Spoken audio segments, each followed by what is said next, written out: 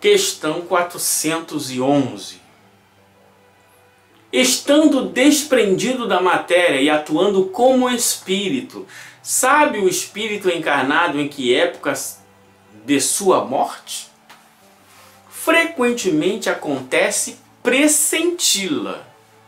Algumas vezes também sucede ter a nítida consciência dessa época o que dá lugar a que, em estado de vigília, tenha intuição do fato. Por isso é que algumas pessoas preveem com grande exatidão a data em que virão a morrer. Acontece. Tem gente que tem essa faculdade. Né?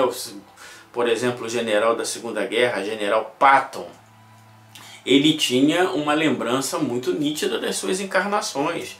Então, durante a guerra, ele passava em tal lugar. Aqui teve uma batalha assim, assim, assim, com o general tal, na época tal. Aí ele, vamos por aqui, porque ali teve uma batalha em tal época. Blá, blá, blá, Dizem que uma, é, um dia antes da sua morte ele avisou a esposa. Assim como também Abraham Lincoln avisou sua esposa que ele morreria. Algumas pessoas têm isso, têm uma facilidade e ele consegue ter essa informação e até transmitir. Isso faz parte também. E pode acontecer o contrário, da pessoa ter um medo muito grande de morrer e todas as imagens que ela possa ter na mente pode dar a impressão de que ela vai morrer e isso cause uma perturbação quando ela volta para o estado de vigília. Isso também pode acontecer.